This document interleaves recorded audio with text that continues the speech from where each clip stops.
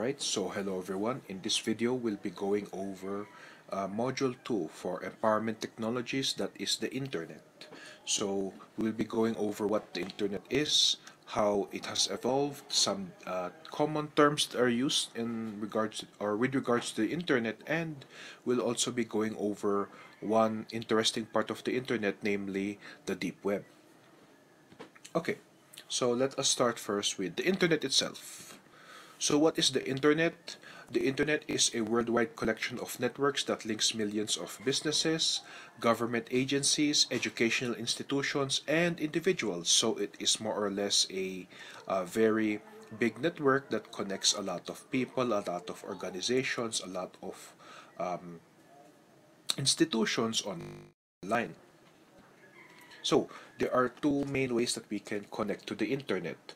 The first one is wired. Here we connect a uh, computer physically to the internet via a cable or a wire. So as you can see here on the right hand side we have uh, examples of cables. These are uh, I believe RJ45 cables and on the bottom right you can see how the internet will be uh, you or how the internet is set up with regards to a uh, wired connection. So we usually have a cable from your computer to the modem. That's your that's the Wi-Fi router or the modem router, and then we have the modem connected to a jack on the wall. So uh, some examples of a wired connection are cable internet service, uh, DSL or digital subscriber line, dial-up, and LAN or local area network. So these are some of the types of connections that we can use in order for us to uh, connect to the internet. Again, these are wired. Typically, these are uh, more limited in the range. So the, the range that you can, uh, the range of the uh, cable will determine how you can set up, let's say, your computer or your device, but they are more stable and they are uh, usually uh, a bit faster than wireless. Speaking of wireless, this is connecting uh, devices to the internet with a wireless modem. So if you're using Wi-Fi, if you're using mobile data, all of these fall under a wireless connection. Even pocket Wi-Fi can fall under this or falls under this. So we have uh, some examples here. Wi-Fi. What does Wi-Fi stand for? Wi-Fi stands for wireless fidelity that is what that term means. So wi-fi. We also have mobile broadband. In other words mobile data no? We have things such as uh, smart and globe mobile data lte 4g 5g fiber optics. Uh, we also have wan or wireless area network and we have satellite uh, satellite internet service. So that is if you are living in a very remote area or you are someone who's working in a very um, secluded area with a very limited connection. So these are for connecting to your device wirelessly, whether that's through Wi-Fi, through mobile data, or through satellite. Now, here are some common terms that we always see when we are using the internet. The first one is ISP or Internet Service Provider. So this is a business that provides individuals and organizations access to the internet for free or for a fee. So uh, these are let's say your uh, companies which provide internet to you uh, on your phone or through a home connection. So if they install, let's say, a device in your home, those are all ISPs. So the ones that I'm sure most of you are familiar with are Smart and Globe. Smart um, and Globe both offer uh, mobile data. Uh, they also offer 4G, 5G, and LTE connections. For Globe, PLDT, and Sky, these companies offer um, DSL and fiber connections. So if you want to set up an internet connection at home, a fixed connection through DSL or through fiber optics, you can do that with these other companies um, that are available here. We also have obviously Converge, we have uh, um, and if you're connecting let's say from uh, with a SIM from abroad, uh, that is also considered an ISP. So bandwidth, Bandwidth is the amount of data that travels over a network. In other words, this is your internet speed. So how fast your internet is. So we have kilobits per second or kbps and megabits per second mbps. So when you're um, using a speed tester or when you are applying for a home connection, usually they'll measure the speed in Mbps, megabits per second. 10, 10 Mbps, 3 Mbps, 30 Mbps, 100 Mbps.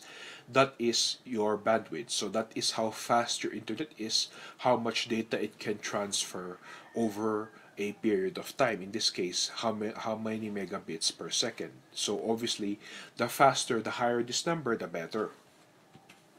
Now, we also have the IP address. The IP address is a sequence of numbers that uniquely identifies each device connected to the connected to the internet. So we have the network ID here, 192.168.1 and then we have the host ID .34.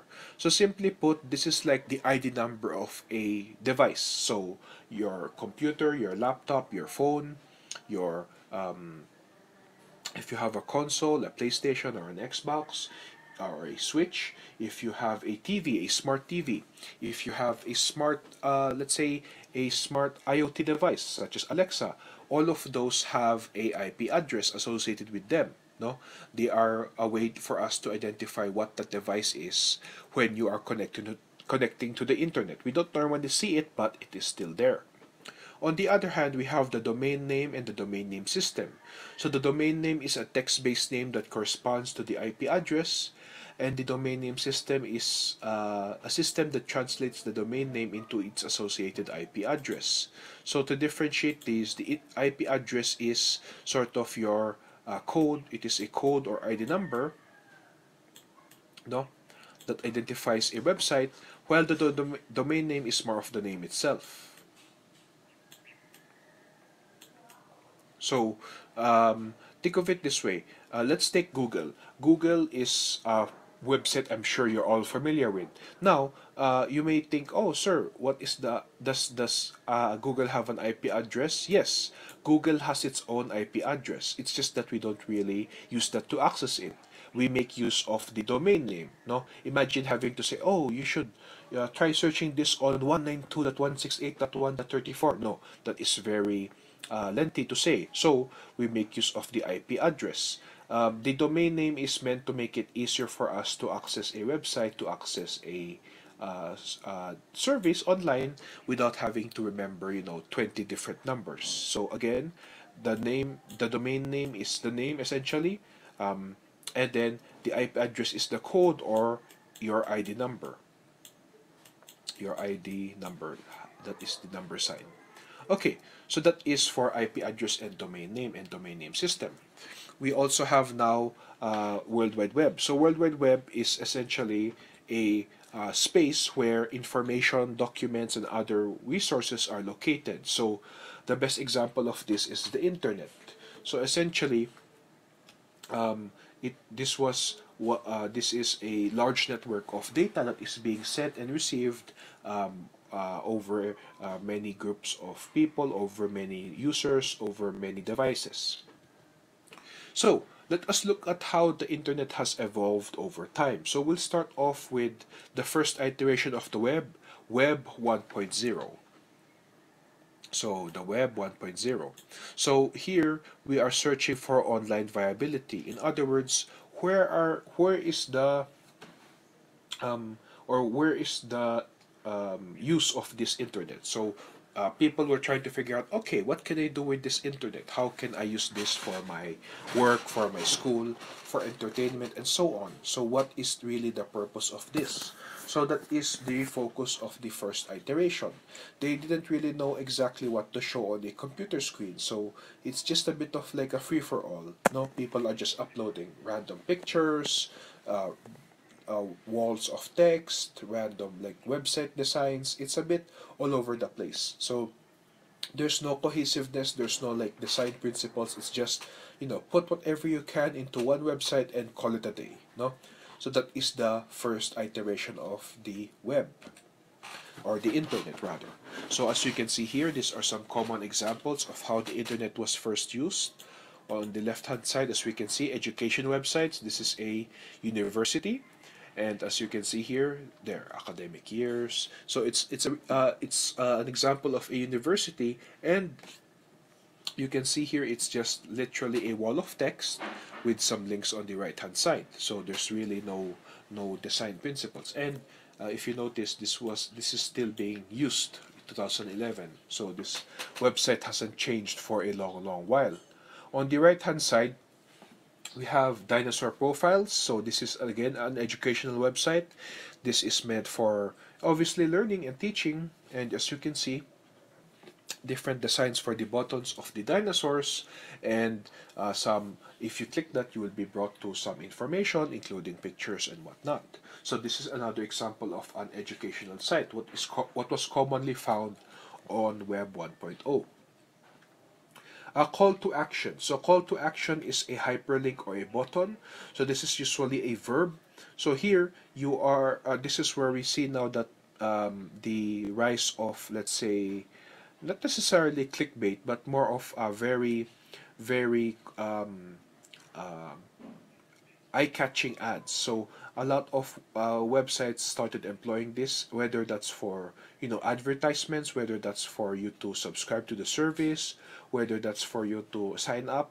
That doesn't matter. These were all very, uh, very eye-catching um, buttons or eye-catching text that will uh, try to entice you to click on them or to uh, um, um, select them. So that is something that was still common even during Web 1.0. We also have buttons, one of the first graphic layouts. So as you can see, this was meant for links, handling links. So we have different button styles. Um, again, this is a very old design.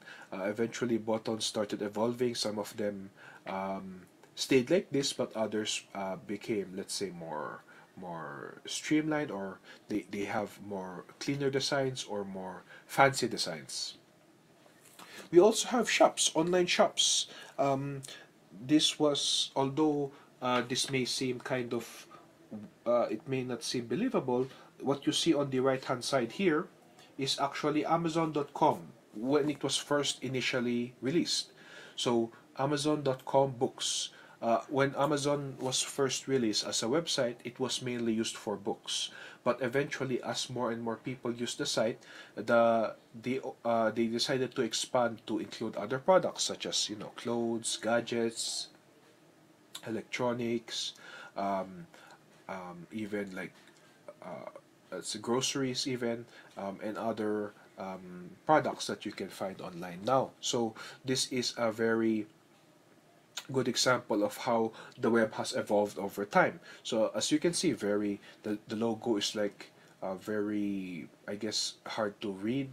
You can see that the, the, the text Earth Earth's biggest bookstore is is somewhat smudged in the background, and then we have here just a bunch of links to different option or different uh, uh, uh, articles or options and and um, there that's it. There's no product picture so far. You'll have to click links or you'll have to browse a bit further to actually see all of the options. It's a stark difference from what is uh, Amazon like now.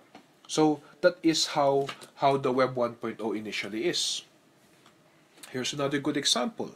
This website over here uh, arngren.net um, you can try to check this if it's still alive. When we checked this before it was still working and it still had this uh, very, uh, let's just say, unique website design. As you can see, very, um, there is a lot of uh, uh, products just placed everywhere. It's it's meant to be a website that sells, as you can see, toys, toys and gadgets, but um, it has a very very crowded interface. No, so this is an example of how the web was.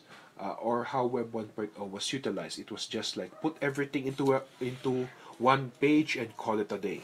No, it's up to the user to figure it out. Uh, here are some characteristics of the web, of Web 1.0. So first, it's readable of the web with flat data. So keep that in mind, flat data, readable web.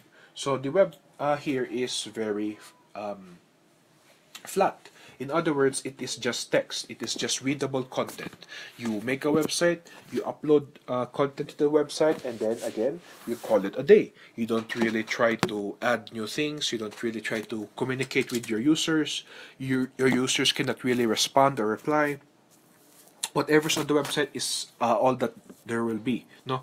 There's no like new content or uh, users will not be able to upload their own content.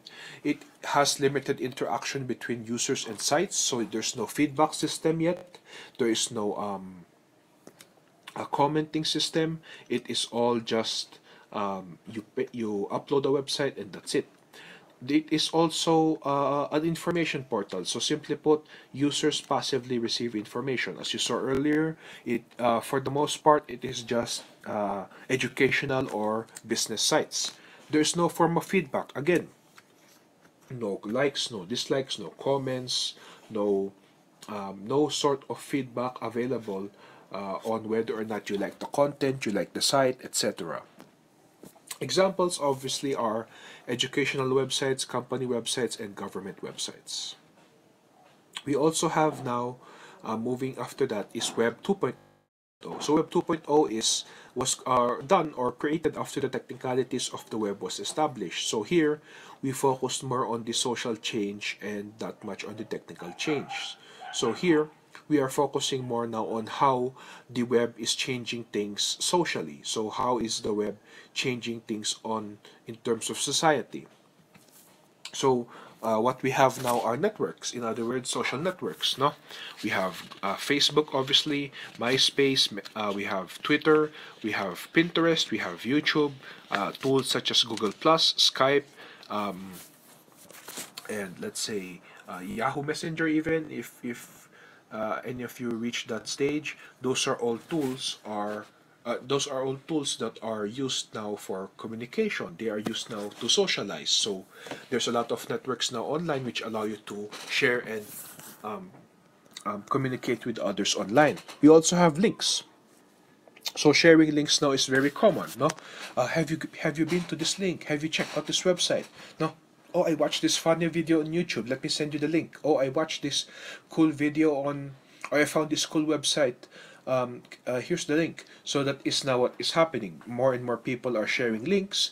More and more people are sharing content via these links. So you'll see now a lot of websites are trying to make links which are catchy, which are easy to remember because it is uh, beneficial to them. It will allow them, it will allow their users to easily remember and easily share it. No, compared to if your website was very long, the name was very long or very complicated, or it was a mouthful to say. We also had collaboration. So collaboration in the form of different online tools which will help you, let's say, you know, work with your team, uh, work with your uh, group on a project. So you can see on the right hand side different tools that you can find online for you to be able to um, collaborate. So again, we're not limited anymore by distance. We can work with others online um, easily without having to resort to meeting up face to face or meeting up in person just to work on a project. We also have a very big content uh, and reach on Web 2.0. So as you can see here, we're able to access uh, the internet on our phones, on our tablets. Uh, another example of a tablet and a laptop or computers. So we are not limited anymore by just one device. Again, uh, before we had cell phones uh, which only could call and text, and we still have those now, but that was more common back then. But now, most people have access to a smartphone which allows you to uh, connect with people online. Let's take a look at this one here. So, uh, this is to give you a perspective on how much content is being shared online. So this is what happens in a so-called Internet Minute. This was for 2019, but I think it's still relevant now. So uh, let's every 60 seconds, uh, according to this, uh, there are 1 million people logging into Facebook. So 1 million people are currently logging into Facebook, or at least close to that are logging in right now. We also have 18 million text sent, um, that's text messages sms 4.5 million videos viewed. So not not views no it's videos. There are 4.5 million videos currently being watched right now. So again it just shows the scale of how much content is currently online especially on sites like youtube which allow you to upload videos for free. We have around 400,000 apps being downloaded. So that's games movie movie apps entertainment apps educational apps and so on around 350,000 are scrolling Instagram. So um, those uh, those people who use Instagram, uh, again, a lot of a lot of them are currently scrolling it right now. Around 90,000 or so people tweeting. So on Twitter, again, a lot of people are. Uh, it's very easy to make a tweet. It just takes you less than a minute to type out something and then post it. So uh, it's obvious that it will make a lot of people inclined to to share their thoughts, share their ideas. 1.4 million swipes on Tinder, that's a dating application. We also have 188 million emails sent. So emails. This may seem like oh no one uses that. We we just use Messenger, but no. Emails is still very very common and used often. So as you can see almost 200 million emails sent every minute. So imagine the volume of emails that you are sending and receiving uh, that that people are sending and receiving at this very moment. Uh, Twitch, which is a streaming site for games, 1 million views. So every 60 seconds, there's a million people currently watching different streamers, 41 streaming subscriptions. So for uh, there are uh, people subscribing to new or this new streaming sites such as um, um, Spotify or iTunes, etc. We have smart speaker shipped Amazon Echo. So here again, um, this is uh, an IoT device. So how many being bought and shipped every second? 1 million or 4.8 million GIFs or GIFs. So this is again another example of media sharing. How many pictures or how many GIFs are being shared every minute? Messenger and WhatsApp. How many messages? 41.6 million messages being sent. So right now, um, there is approximately 40 million messages being sent, being received uh, through Messenger, through WhatsApp, through uh, all of these messaging apps combined. So imagine the volume of messages per hour or per day, just how many messages are being sent. 2.1 million snaps created on Snapchat, $1 million, close to 1 million being spent online. So every minute, a million dollars is being spent online. So imagine every every 24 hours, potentially, the maximum amount will be, let's say, 24 million, roughly. Um, being spent every day. 24 million dollars being spent every day online. That's why a lot of people are moving their stores moving their shops online because as you can see it's a very very lucrative business.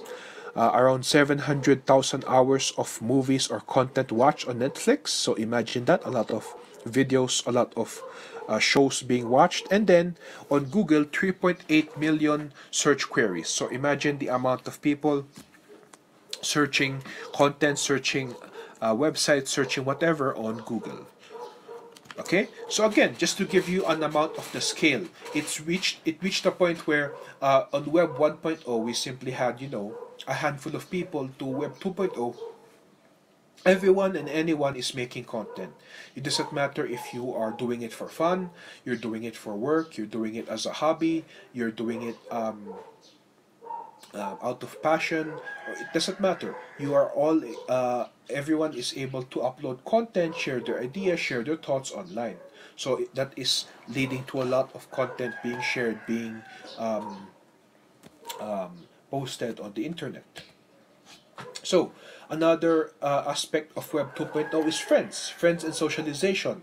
Social media obviously promotes socialization. You are more prone to share your ideas meet up new people, meet up with, try to uh, meet up and find new friends. So some of you might be um, or might have your online friends that you have never met in person, and that is again something that is uh, brought about thanks to the thanks to Web 2.0. So we have online friends, we have online communications, online communities, which are forming to promote because um, many people are you know seeking uh, trying to seek uh, friendship or trying to find people with common interests common ideas on the internet.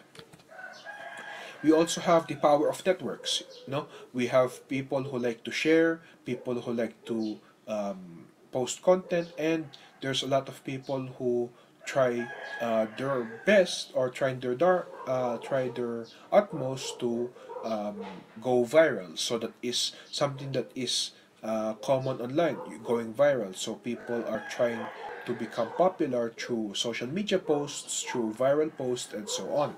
So there's many user-generated content that we can find online, text posts, videos, uh, photos, interactions, such as comments, tags, and ratings. So these are now um, the power of networks. As you can see, um, the more likes you have, usually that will mean that your your post has more reach, has more influence, has more um, has more feedback, no, has more interactions. Now, what are some characteristics of Web 2.0?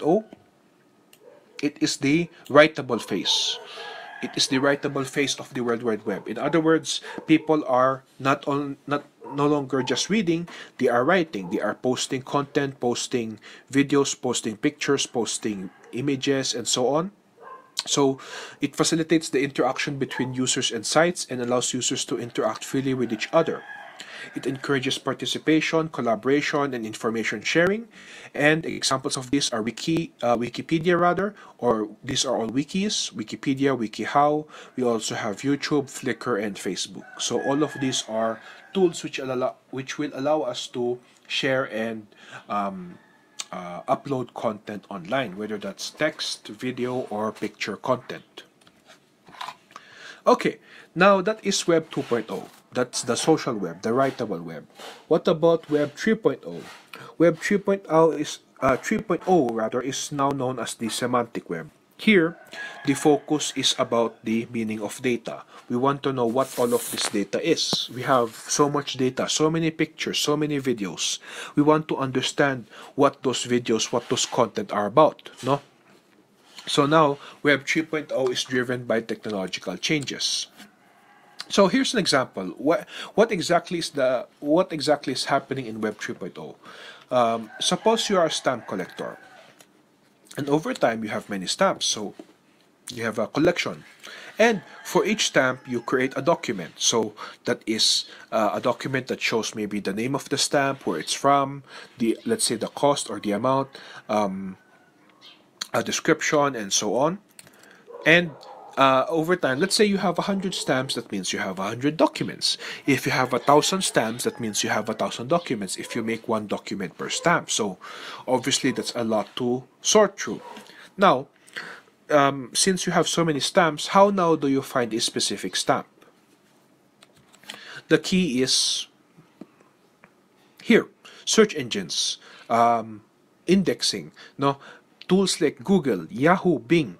These are these are sites which seem very simple. Google is uh, if you go to google.com, the website, the the page looks very simple, but there's a lot of very complex technologies, complex algorithms behind that website, behind that tool. So what these websites do is that they they take a collection of documents and they index them they organize them by keywords no Google, Yahoo, Bing, Google especially uh, um, searches content through keywords. So that's why when you search content on Google, you don't type, okay, I want to search, let's say, or I want to search um, best types of, let's say, uh, best cell phone for selfies. Uh, when you're when you're searching that you want to search the best type of cell phone for selfies when you search that you don't say oh google i want to know what type of cell phone is best for selfies you don't type that question. You don't type the whole question. You simply type keywords. Uh, best phone selfies there or best phone for selfies. You type only specific keywords because that is what Google will use in order for it to find content online, to, to sort through all of the websites, all of the results. As you can see here, just stamp collecting, just the, the, the keywords stamp and collecting, you have 1.6 uh, 1.6 million results already. So imagine uh, having to sort through all of those in in in less than a second. No, so that's why we make use of keywords. So, for example, you're searching red stamps. Again, you type the keywords. You don't say, "Oh, I uh, Google. I want to know what's. Uh, I want to know more about red stamps." No, you simply type red stamps, and as you can see here, 67 million results. So how does a computer know what I mean when we structurally describe that a stamp is a stamp and red is a color? So, uh, describing data in a structured way can best be done in a database. Again, um, this is what what Web 3.0 is about. You are structuring your data. What do you mean by this? Let's take uh, YouTube and Facebook as as our examples. On Facebook, when you upload a picture to your page or to your profile, usually it will ask you to give a description, right? It will ask you to tag people. When you are tagging your friends, when you are tagging certain people in the picture, uh, sometimes Facebook will suggest based on the face. So you'll notice that it will try to detect the faces in the picture and suggest who that person might be. So it might be someone in your friends list, it might be someone you know. And that that simple thing is an example of a um, feature of Web 3.0. You are taking you are trying to describe as much of the content online as possible to make sure that it's easy to organize that that it is easy to to sort no? That's why on youtube when you upload videos to youtube if you guys are uploading content there you have your own channels. Usually it'll ask you to tag, right? It will ask you to put tags, to put a description. Why? Is that only for the is that only for the viewers? Yes, that's for the viewers, the, the description, the caption, but that's also for Google, for Yahoo to be able to properly index those. So that if I search, let's say, funny cat video, uh, Google will know that your video is a type of funny cat video and it will suggest it to your to the people searching. No, that's the idea of Web 3.0. We are not we are now trying to take all of this content, all of these millions and millions of pictures. If you recall how many posts, how many videos uploaded per minute, we're trying to take all of those and then trying to make sure that we are properly labeling them with the correct description, correct tags, correct information, so that when we search for them, when we try to find them again, we can easily find them or we can easily uh, locate those content again. So Web 3.0, to put it simply, is a big collection of databases where we're connecting on demand. And the Web 3.0 depends on the structure and description of data. So again, how we how we structure, how we label our data, how we label our content is the most important. So uh, where the data located is irrelevant is located is irrelevant. It doesn't matter if it's on Facebook, if it's on YouTube, if it's on Vimeo, if it's on um, uh, MySpace. It what matters is whether or not it is properly labeled, properly um, uh, properly uh, tagged. No, that's why if you notice, there's a lot of um, um, or when when you search for content you'll get a lot of results which are mixed no? You'll get results from facebook get results from youtube get results from let's say vimeo get results from dailymotion etc no? It's not just one website or one source. So um, here uh, web 3.0 is known as the executable phase. Executable why? Because we are now trying to um, execute searches. We are trying to conduct searches on data. We're trying to search content, search media online. So dynamic applications, interactive interactive services, and machine-to-machine interaction. Um, what do you mean by this? Uh, an example of this is um, Facebook logins. No, you may notice, guys. Uh, if we go back here, um, connected on demand. So we are linking data here is here's the keyword linking data. So example is facebook. When you visit certain websites some websites um, allow you to actually log in using your facebook account no? You don't have to you don't have to um, you don't have to uh, create a new account you don't have to log in using 20, 20 different accounts. You can just have facebook and then log into several different apps several different websites several different games and whatnot using just your facebook account no you are linking data. So facebook now is sharing its data so that it you'll be able to, to log into this other website this other service without having to go through the hassle of signing up that is one of the features of Web 3.0. That that feature really wasn't that common back then. No, yes, we had Facebook before. We had Facebook in 2012, 2013, but if you wanted to go to another website, you had to make a new account. So we would have to juggle like 10 different accounts for 10 different websites. But now you can have one account, let's say Facebook or, or Google, one account and then shared across seven different, 10 different services, 10 different websites. Okay? So, uh, computers, no. So, the semantic web is uh, refers now to the future. So, we're trying to um, uh, prepare data, trying to analyze data, make sure it's ready for future technologies, and computers now can interpret information like humans. Again, many search engines now are getting better and better every day.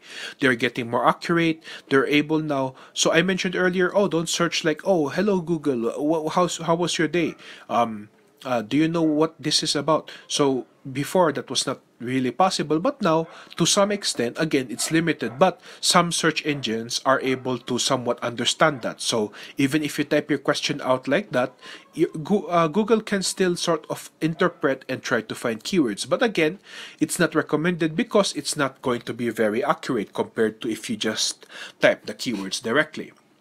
So uh, Web 3.0 intelligently generates and distributes useful content tailored to the needs of users. Again, you're trying to um, uh, make sure that you are sending, you are showing the correct content to the correct users. If I search for red stamps, obviously I will not get blue stamps as my result. If I'm taking, if I'm checking, let's say, um, I want to search, oh, I want to search a four-wheel drive car. Uh, the, the, uh, Google will shouldn't give me, let's say, pictures or search results for, let's say, a sedan or a bike. No, that's the idea there. So here is a bit of a um, a bit of a table showcasing a summary of the different types of web. So we have the first one, Web 1.0. This was in 1994 to, to 2000. It is the static web, uh, with web, limited number of authors, and it has static information. Again, data is static, it's not changing. You simply post it once, upload it once, and you're good to go. Oh, sorry. Uh, we also have Web 2.0, 2000 to 2010. So this is known as the social web. So here, people now are uh, uploading their own content, uploading their own uh, videos, uploading their own uh, pictures online. So there's now a lot of interactivity, a lot of people posting and sharing different works. Uh, web 3.0 is now the semantic web, 2010 to 2020. So this is now focusing on individual users, you are now trying to um, uh, trying to uh, make sure that you are um, properly labeling data, properly searching or um, categorizing data, and then when someone searches for that data, you can provide it exactly what they want or exactly what they're searching for. So that is one of the strengths, one of the features of Web 3.0, the semantic web. And then Web 4.0 is now 23, uh, 2020 to 2030. That is the intelligent web. So this is more of a hypothetical phase. Here we are focusing now on self-learning. So self-learning is essential, or self-learning essentially means that it is um, the data is um, uh, able to adapt to the user. So for example, let's say you are someone, let's say on YouTube, a simple example is this, on YouTube, you're, let's say you search a lot of, um, a lot of, um, uh, let's say vlogs. You are someone who likes to watch vlogs, travel vlogs, you know, um, uh, sports vlogs or generally vlogs in general. So what will happen as you browse more and more vlog content, YouTube will say, "Oh, this user must be interested or must like vlogs." So let's let's end up recommending. Let's end up um, recommending some vlog channels or vlog videos to them so that uh, they can watch those. So that is what happens now. No, self-learning. The web is trying to adapt to each and every user. So that's why, if you notice, your newsfeed on Facebook is not the same as my newsfeed and your friend's newsfeed. No, we may have some similarities, some similar content being posted, but for the most part, it is very different because it adapts to each user what each user likes dislikes, what they like to view, what they like to watch, what they like to comment on, and so on. Now, uh, we have something here called the World Wide Web. Um, other common terms. Here we'll go over some of the other terms that are used on the internet. So we have something called a URL. Uh, URL stands for Uniform Resource Locator. So this is essentially a web resource that specifies its location on a computer network with on a and on a mechanism for retrieving it. Um, so for example here, this is a URL, this entire thing. Uh, but this URL has different parts. First is HTTP, this one here. So HTTP, We'll discuss what that is in a moment. We have www, which stands for obviously the World Wide Web. We have example. Example here is the host name. In other words, the name of the website. So Google, Yahoo, Bing, YouTube, etc. That is the host name. .com is the TLD, top level domain. Again, we'll discuss that in a moment. And then we have the file name and then .html. So what are, uh, let's focus on the first four since this is what you'll most likely see, what you'll most likely interact with online. So the first one, HTTP. HTTP stands for Hypertext Transfer Protocol.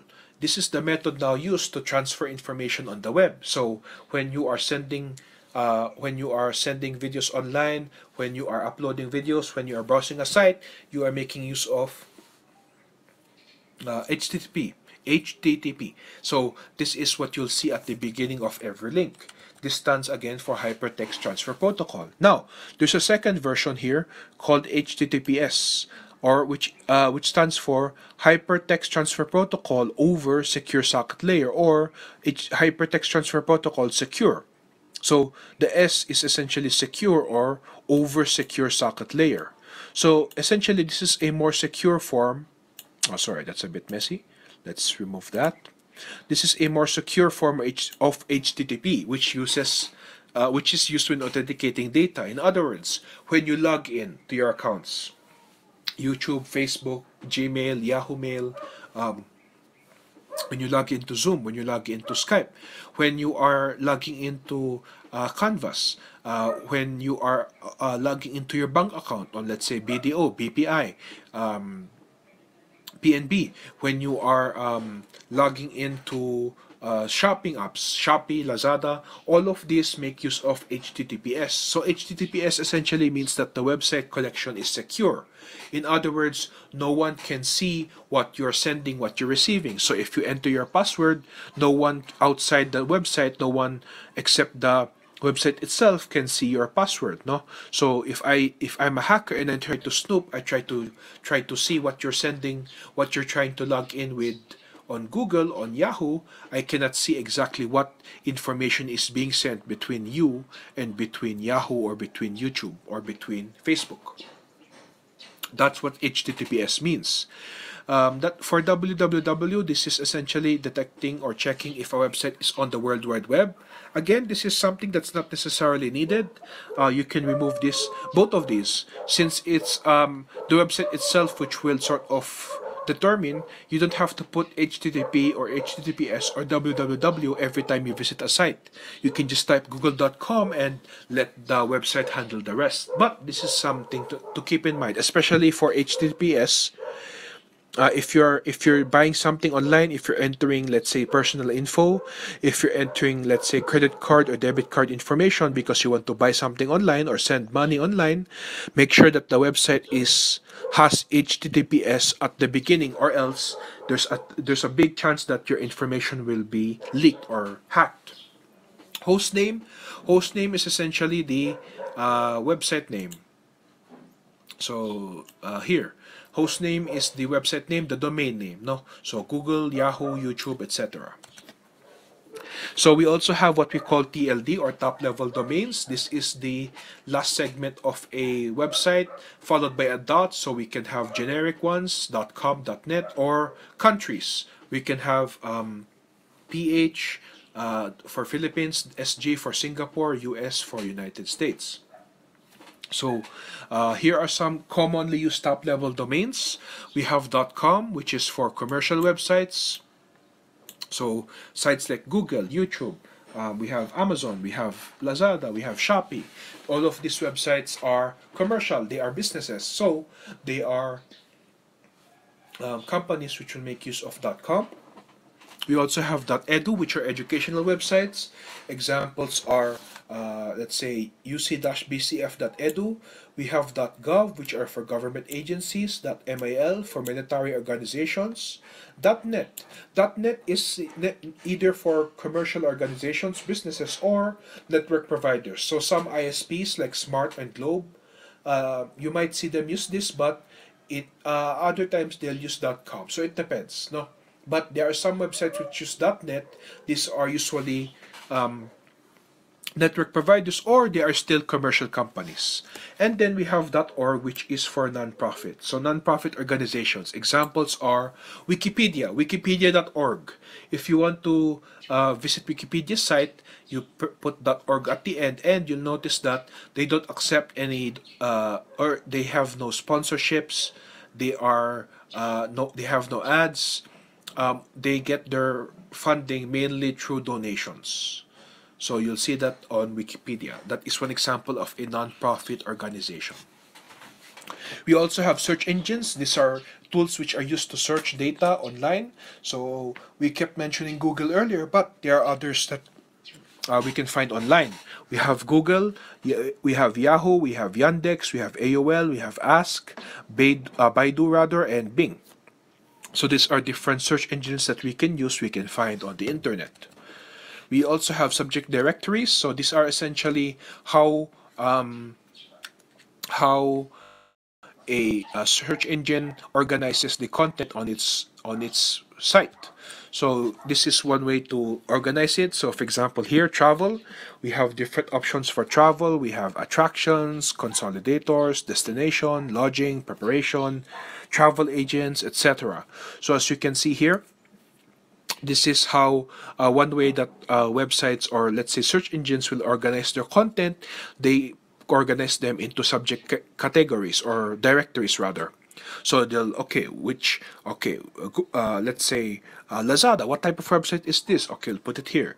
Um, shopee what type of website is this? Oh we'll put it here. What about airasia okay what type of website is airasia oh it can be let's say uh um, travel agent or a specialty travel. So we'll put that there and so on no? So you are organizing you are organizing the different um, websites different content into different uh, categories. Okay? So that's pretty much it for the internet. So again just to briefly summarize we have uh, four, four current sort of stages of the internet. We'll focus on the first three. Web 1.0 is the static web. There is no uh, content is simply static, flat, flat content. There is nothing that is really being changed. You upload once and leave it as is. There's no interaction, no feedback, no nothing. It is just I upload content and then I post content and then I let people view or watch whatever I post. That is for Web 1.0. Web 2.0 is the social web now. It is where people now are able to upload uh, through social media, anything they want, pictures, videos, text, and so on. So this is now where many people are sharing their own ideas, their own content, their own uh, perspectives, and whatnot. So it is now a, a social uh, um, phase where people now are trying to communicate, trying to find like-minded people, like like-minded communities, and so on. Web 3.0 is now the semantic web. It is where we are trying now to categorize and organize all the data. So imagine we have like a hundred thousand videos uploaded a second in YouTube or something, or how many posts uploaded to to Facebook to Twitter every second. So in order to make sure that we can manage all of those we need to label them properly we need to tag them properly we need to make sure that our systems our search engines our different applications can be able to detect be able to search content online. So it's not just oh uh, we'll just keep uploading and uploading and just you know eventually um, we'll have so much content that we, we, we can't find any more we, we, we really cannot uh, you know search anything anymore no we want to make sure that we organize everything that we're uploading online so that if we want to search for something we want to find something it is easy and then the last one, Web 4.0, which is again sort of a hypothetical phase, uh, intelligent web. Here, we're now trying to cater to all of the users. So we're trying to see, okay, this user likes to browse this type of content. Let's give them this suggestion. Oh, this user likes to browse, let's say, um, uh, cars or we'll give them some videos of cars uh, different types of racing events and whatnot. Or this person likes to likes to browse on cooking uh, cooking shows. So we'll, we'll suggest some cooking shows some cooking channels and so on. That's the idea there. We are trying now to personalize uh, content for every user. Okay going now to an uh, section of the internet we have this topic called the deep web. So before I proceed, there's a lot of misconceptions with the deep web. Here we'll try to um, we'll try to um, um, what do you call this? We'll try to clear up those misconceptions and try to clarify what really is the deep web because there's many terms that we hear deep web dark web and so on what are these so we'll try to clarify those and what do they mean okay so deep web let's start off with that let me ask you all a question 96% uh, of the internet is not indexed by search engines such as google and bing so how how is that possible? 96%, that's the majority of the internet. How is it that most of it is not really findable? I mean, you saw earlier, right? If we search, let's say, red stamps, we get 67 million results. Imagine 67 million websites or web pages, and that's only like 4% of the internet. Is that really the case? And you'll find out uh, exactly why that's the case. So let's try to let's try to see. Uh, I'll give you five seconds to guess why, or to, to to think of a reason why in your head, and then once we get to the lesson, I want you to check if your guess is correct. So one, two, three, four, and five. Okay, so now uh, if you have an idea on your head, keep that in mind, and I want to see. Uh, let's see if your if your idea on why this is the case Eh, why uh, why there's so much content that's hidden i want you to see if your idea is uh, correct or not or if it's if it matches what we have here in our discussion so let us look at this infograph here we'll see here that um, the internet is composed of three main parts. We have the surface web, as you can see here. We have Wikipedia, BBC, Facebook here. We have the deep web, which has LinkedIn, Netflix, huh, Netflix, PayPal, Dropbox, Facebook, really, Facebook, deep web, WhatsApp, Bank of America, and so on. And then the dark web. Here, a small part, we have Silk Road, Alpha Alphabay, DuckDuckGo, and so on. So, um, what exactly is the difference between these three and why is it that some of them can be found in multiple sites? So Facebook can be found twice, LinkedIn uh, can be considered part of the surface web. Uh, DuckDuckGo. DuckDuckGo can be both on the deep web and it can also be on the surface web. So why is it in three categories at once? Let's try to understand why. So, surface web. Uh, let's start with that. Uh, it is uh, the surface web because it is all the above water content that average internet users per use on a daily basis. Example is YouTube, Facebook, Google, uc-bcf.edu.ph. All of these sites are considered part of the surface web. No, all of these sites are considered surface level. They are what you use every day. No, so that is the surface web. Pretty straightforward. What about the deep web now? Uh, now?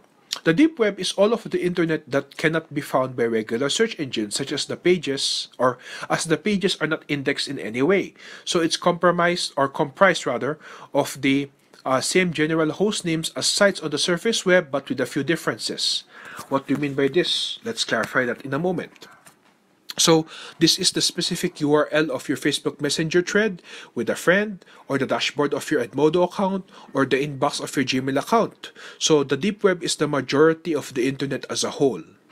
Okay?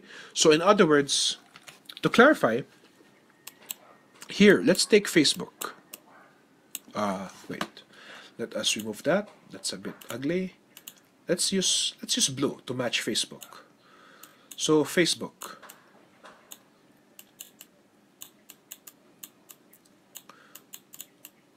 Let's just write this. Um, let's newsfeed.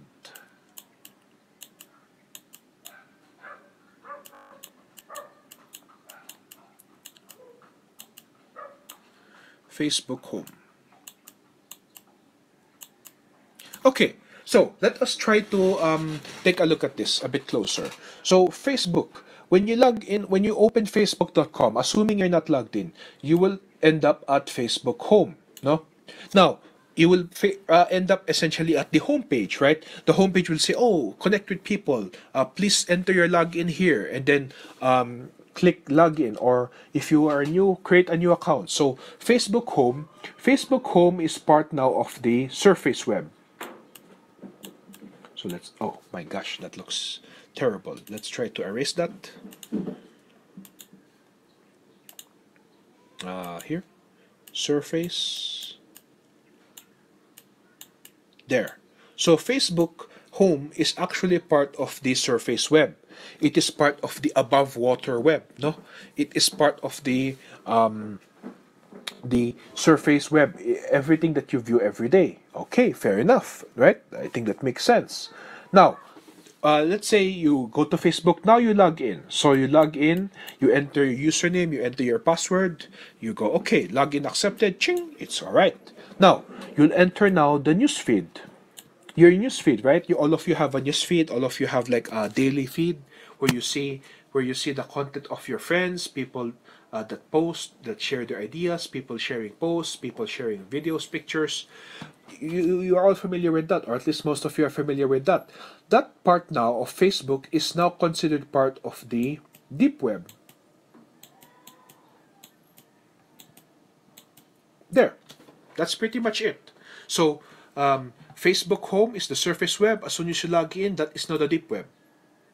That's it. Really, sir? That's it? Yes the deep web is not is not there's a common misconception where the deep web is this dark, scary place where there's ghosts and monsters and aliens. No, the deep web is simply a part of the web that is hidden behind search engines. No, can can Google access your newsfeed? No, can can Bing, can Yahoo access your your messenger contacts or your messenger messages? No.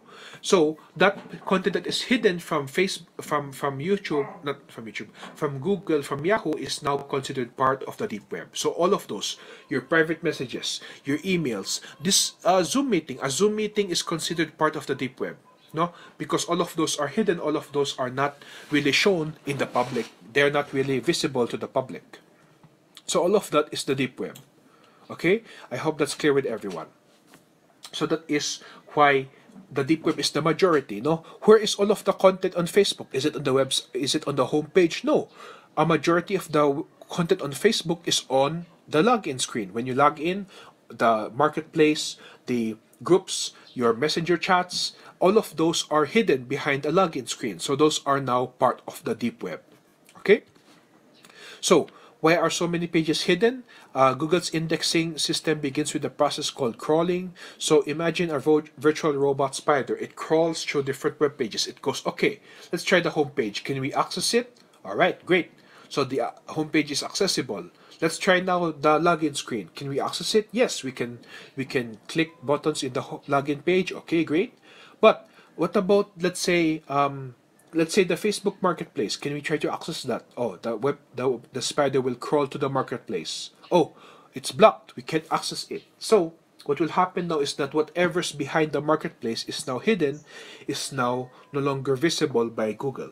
Okay, that is how the uh, indexing works or how crawling works with regards to Google and other similar search engines.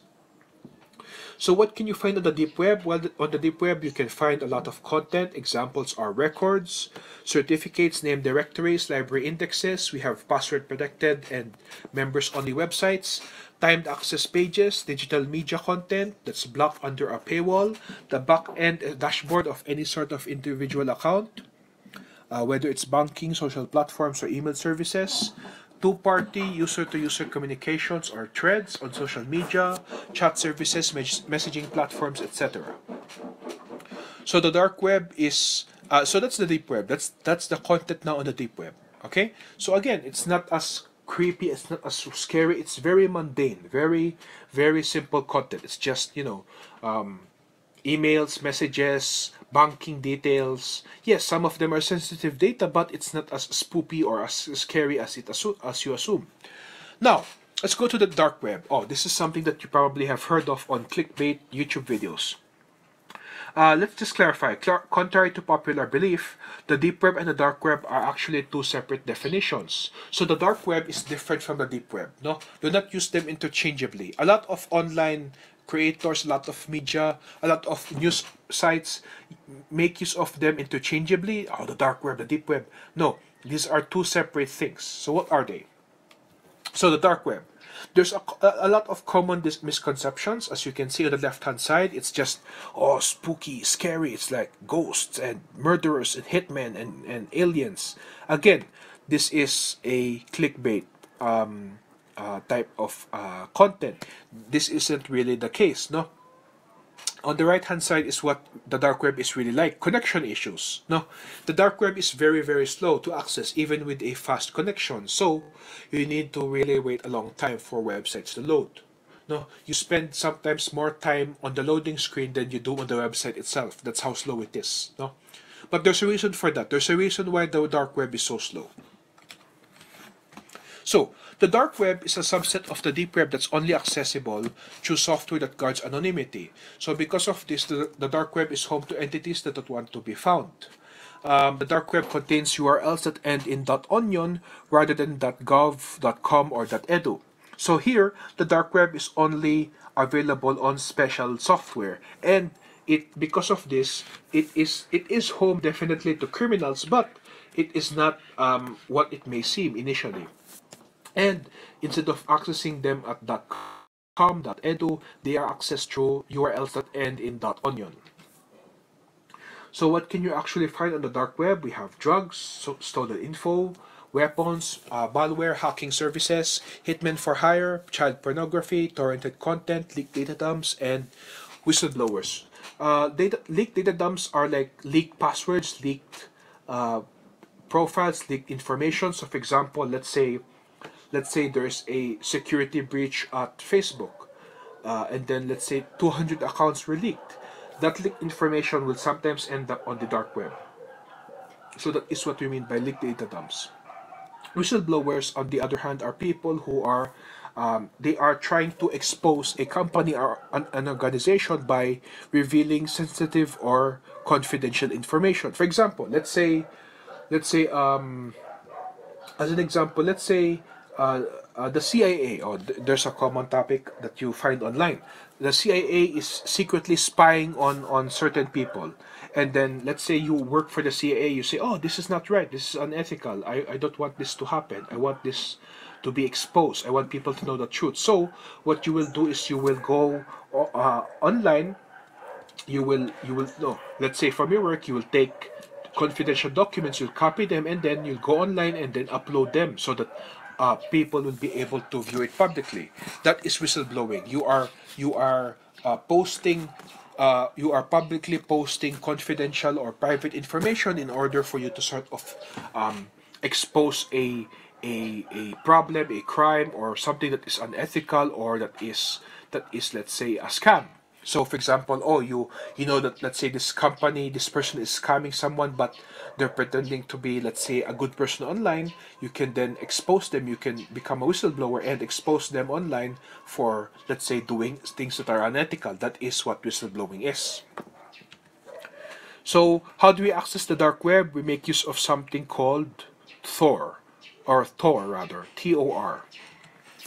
So Tor, the dark web is a web, uh, uh, not a website, but it is a part of the dark uh, deep web that can only be accessed by a special browser called Tor, which stands for the Onion router. Again, onions. Why onion? We'll discuss it in a moment. So Tor, T-O-R. That's the logo over there. So Tor, the Tor browser is uh, a browser that can be used to access both or uh, the surface web and the deep web including the dark web. So it can access all three. You can access Facebook, you can log into Facebook, but you can also access the dark web, which is a different part of the internet. So it's easy to use. Its interface is similar to Mozilla Firefox. Okay? So that's how it looks like over there on the right hand side. As you can see, very, very um, very similar to Firefox, no? doesn't look anything strange, nothing out of place. It just has a purple theme. That's all. So, just a bit of history. The Tor browser was created by someone. That someone is the United States Naval Research Laboratory. Again, it was made by the United States Naval Research Laboratory and is partially funded by the U.S. Department of Defense. So as you can see, uh, it was the the the um, the dark web was created in thanks to the United States. They they created it for a specific purpose. So I'll explain what that is in a moment. So how Tor works? So Tor is meant to be uh, it's meant to sort of reroute your connection to different nodes or to different servers. So I mentioned earlier that the, the dark web is very slow. There's a reason for that. So normally, right, let's let's take a pen tool. Let's just read again. So normally, let's say we have two people. We have Alice and we have Dave. So Alice wants to send a message to Dave. Normally, we will just send it directly. Okay, send a message. Let's say we'll send an email. There. They will just send the message directly from Alice to Dave. So straightforward. The, the message will be delivered directly. So it's quite fast, quite quite quick. So no problems there. But what about now if you use Tor? How does Tor send a message? So when you send a message to Tor, what will happen now is that you will make use of a network, a different node. So let's say you want to send a message, same as before, but this time you'll send it to Bob here. So how does this work? First, Alice will send the message to this node here. Then this node will send it, uh, or server you could say, just call it server. This server will then send it to this server. And then the server will send it to the server after which the message will be received by Bob. So uh, it's at this point now that Bob will now receive the message. So again, normally it would just be direct, one way. Alice to Dave, direct. Uh, you send, she sends the message, he receives the message. But here, what will happen is that Alice will send it through three different nodes or three, three different servers before it's received by Bob. So what happens, guys, is that um, if Bob if Bob tries to check who sent the message, they will think it's from this PC. They will not be able to tell that it's Alice who sent the message. So that's basically how Tor works. You are hiding behind several layers of servers, no? That's part of why it's so slow. Because your connection is going to jump between different servers before getting to the recipient. Compared to here, where it's direct, your connection is straightforward. On the, on the other hand, here, your connection is jumping from server to server to server to server. Okay, so that is why it is quite slow, it is quite uh, laggy when you are trying to access websites, access content online on, on the dark web. Same thing here. If let's say, okay, I want to connect now to Jane, will I use the same nodes? No. Here, the computer will now select a different set of nodes. So in this case, the middle one first, then this one here, oh no, sorry, then this one here, and then this one here, and then Jane. So as you can see, it is jumping, it, it changes from uh, connection to connection. So if it's to Bob, it's one way. If it's to Jane, another way. So when Jane tries to check where does the connection come from, she will think it comes from this PC over here. Okay, so that's pretty much how how Tor works. It is a uh, it jumps from connection to connection um, or node to node in order for you to connect to a certain website or certain system. So again, this provides a layer of anonymity, a layer of like protection to prevent yourself from being discovered by whoever's receiving your data or whoever's receiving your message. Okay, so uh, simply put, the Tor uh, makes use of uh, Onion. It is an Onion network again because messages are encapsulated in layers of encryption similar to an onion. Here, take a look. This is one layer. So each layer is like, think of it like uh, each layer needs to be opened with a key. Let's put it that way. Each layer is uh, is locked with a key and it needs to be opened one by one. So you you you here there is four layers of keys. So we send this to the first uh, node, they open it with one key. So you see there, one layer is gone. And then the next node will open it with another key. The, the third layer or the second layer is gone. This node will now open it with the third key. So the, the third layer is gone. And then lastly, this node will open it with the last key. So now they have access to the data. So again, you lock it behind several layers of keys, you could say keys, and then it will be opened one by one, or onions. This It's uh, We'll peel back one layer of the onion here, then another layer, then another layer, then another layer. So we are um, trying to cover as much information as possible before we reach the destination. Okay, so dangers of the dark web browsing. So we have hackers getting caught for something illegal, spying by ISPs and the government, and penalties and legal issues. So um, you might be wondering, you might be wondering, sir, why why the heck did the government create or why did the US government create Tor? So if you recall, it is made by the United States Naval Research Laboratory. Why would they create Tor? Because they are uh, the government, the US government. Let's use this here. Or no, let's let's actually use the next slide since it's a bit blank. So what why would the government use or why would the US government create Tor? So let's say this is the US government. So assuming they uh, uh, they want to use Tor, uh, the reason why they use they created Tor was for them to have encrypted or to have um, secure connections, secure communication. So, for example, if they want to send a secure message, a secure, let's say, um, a secure, let's say, email, a secure uh, call, they can do that using Thor, uh, Tor rather. So that is great. So why why is it uh, full of hackers? Because take note, if you have if you have let's say a network with only let's say two connections, you would know that oh these connections are definitely the US government, no? So if I if assuming this entire thing is Tor, so assuming this entire block is Tor, so this is the the Tor network or this is the the dark web assuming this entire network is uh, the dark web, and, and there's only two connections happening, you will notice that, oh, this is definitely the US government. So they yes, their their connections are are secured, but they're not really hidden. People can tell if someone is sending or receiving data. So in order to sort of protect their data, they actually invited other people to use it. So they invited the public. So we have random people connecting.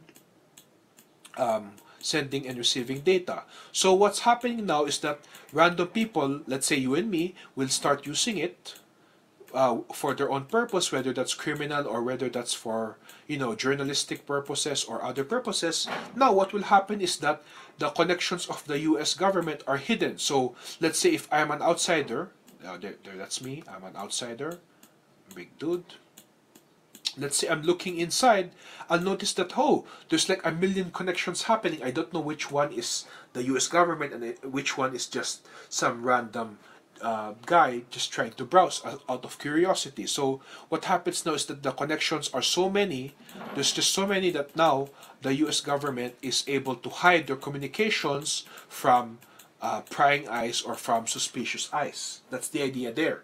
So I hope that made sense. Um, again, the reason why it was created was for the US government to be able to communicate secretly with each other, with their different, let's say, military assets or whatever um, communications they need to send. But if they if they were just the only people on the dark web, then it would be obvious that oh, if there's lots of connections, that means that the US is planning something. But if we hide behind, let's say, people, you know, people making uh, hacking, people sending, you know, um, selling drugs, people doing illegal activities, then we can hide what our uh, government officials are doing. Sir, isn't that unethical? You could say that, yes, it's somewhat unethical allowing hackers to use your service, but uh, in the case of the US government, they consider this a acceptable price to pay for securing their own connections, securing their own data. So here are some actual examples of websites using Tor. As you can see here, the the link is in gibberish. This is really how it looks like even here if you see. This is really how it looks like and um, the link ends in dot onion. So you can see it's just random gibberish and then dot onion. No? If you try to access this maybe on your own computers on your own phone or internet nothing will happen. Literally nothing will happen. Uh, if you try to open this it will say oh website not found or website not not uh, not uh, detected so as you can see here, this is uh, the hidden wiki. It is similar to Wikipedia but for the dark web.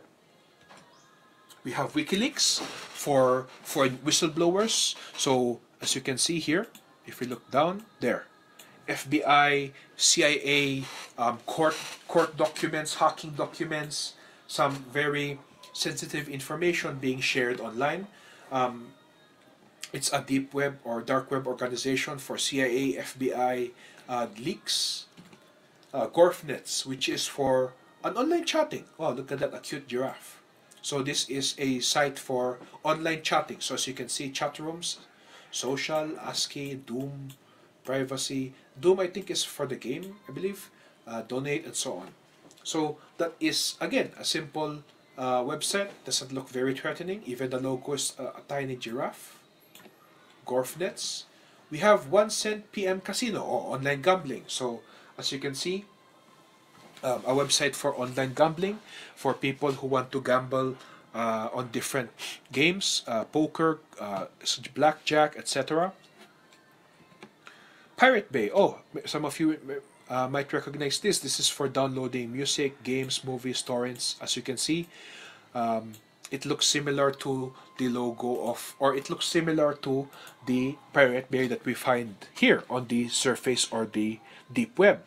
Sir, um, what's the difference? Well, one difference is that uh, the Pirate Bay on the dark web uh, does not change.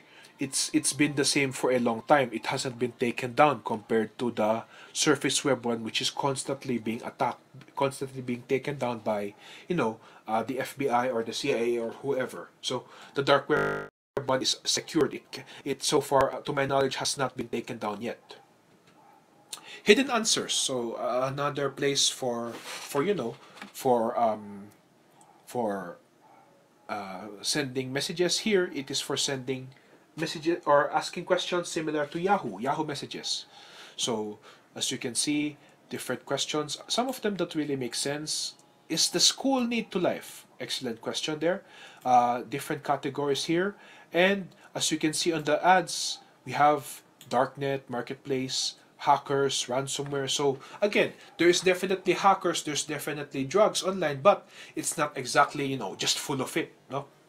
Uh, let's demonstrate that by the next example. Wow, Dice Time. What the heck is this? Um, Dice Time is Jared's private blog. He enjoys programming and playing video games. You may say, oh, what the heck? And if you look here, yes, this is an example of a website where um, this person is uh, he, made it because you know it sounds cool. He, he called it dice time i believe because it sounds cool. And he programmed it using html which is a, a programming language you could say. He's 14 years old from the us and he enjoys programming and video games there.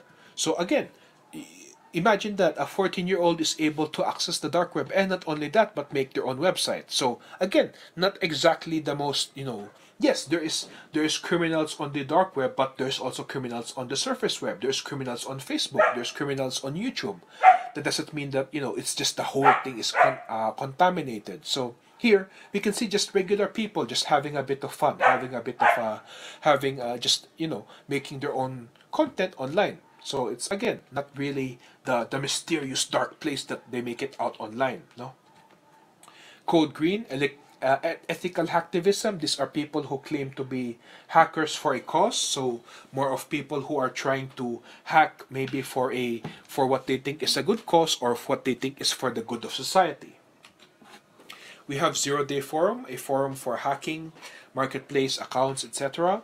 So if you are trying to um, trying to um, or this is a site that uh, where people are sharing, you know, uh, information of hacked accounts, hacked information. We have Plastic Marketplace, uh, a place to find um, stolen credit cards. We have Vendor for hacked PayPal accounts. Facebook account hack for supposedly they'll hack a Facebook account if you pay them. Take note that this is usually a scam. So this is not really legit. You'll pay them and then they will run away and then you can't really do anything about it, no? Imagine going to the police. Oh, sir, um, I tried to hack my friend online, but the the the the hacker scammed me. Imagine telling that to the police. No, that will that will not really work. This is again simply these are usually scammers scamming scammers. We also have Victory Counterfeit, another example. This this this uh, site claims to make counterfeit U.S. dollar and euro notes. Uh, Dream Market this is for selling drugs and same with this for selling drugs. Okay? So that's pretty much it. Here's the references. I hope that you all learned something. So again, to summarize the deep web, we have three types of, we have three parts of the web. Surface web, which is the surface level stuff, YouTube, Google, etc. We have the deep web, which is stuff hidden behind a login screen. So for example, your Facebook newsfeed, your YouTube page, your if you have hidden videos or if you if you have recommended videos, those recommended videos are usually hidden.